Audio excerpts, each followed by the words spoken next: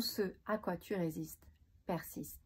Je vous souhaite un beau mardi et une belle semaine. Avec plus de 10 ans d'expérience, j'ai pu observer et expérimenter énormément de processus. L'accompagnement de l'humain, c'est quelque chose d'extraordinaire parce que c'est très complexe, toujours nouveau, et en même temps, on peut observer des choses qui reviennent au fur et à mesure du temps, des processus qui ont une même forme, qui ont un même déroulé.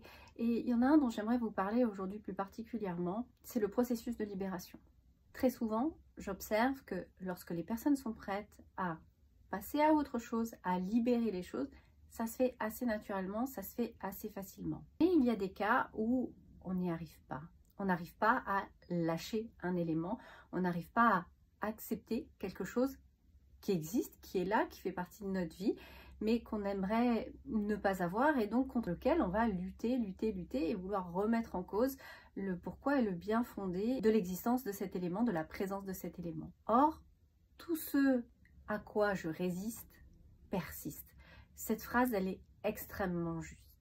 Parfois, des années, des décennies d'accompagnement arrivent enfin à terme avec juste un petit élément. C'est verbaliser cette vérité qui existe et que je n'accepte pas. C'est ce qu'on fait en constellation familiale la plupart du temps. C'est qu'à un moment donné, on se retrouve dans cette position, après avoir observé un certain nombre de mouvements, à verbaliser une vérité. Ça peut être être face à son père et à sa mère et dire les garçons sont mieux que moi. Je suis une fille et un garçon aurait été tellement mieux que moi. Parce que dans l'inconscient de la famille, du foyer, les parents voulaient un enfant qui soit un garçon et je suis arrivée en étant une fille.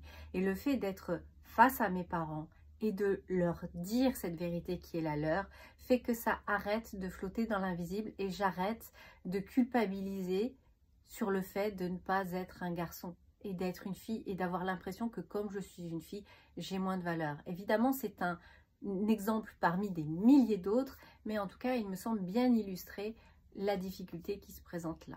Bref, pour améliorer notre vie, pour être plus libre, pour vivre heureux, pour se sentir mieux, pour se sentir approprié au bon endroit, à la bonne place, cela passe nécessairement par accepter. Accepter les choses avec humilité, accepter ce qui est. Et c'est pas facile. Et parfois, même souvent, on a besoin d'accompagnement pour pouvoir faire ce pas-là. Je peux vous proposer cet accompagnement si vous le souhaitez. Quoi qu'il en soit, je vous souhaite une belle journée, une belle semaine et je vous dis à bientôt.